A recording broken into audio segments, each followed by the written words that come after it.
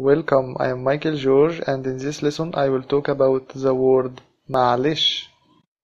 It means I'm sorry or it's okay or take it easy. When someone asks you why didn't you call me you can reply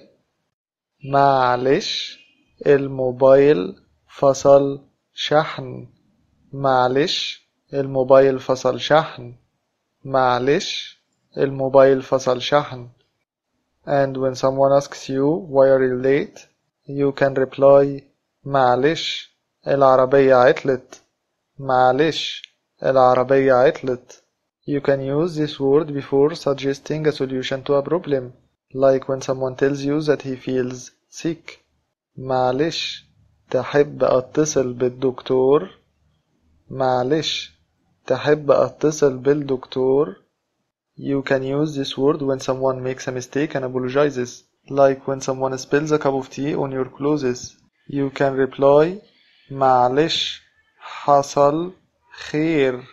معلش حصل خير معلش حصل خير It's a very important expression and it is used frequently. Thank you very much for watching this lesson.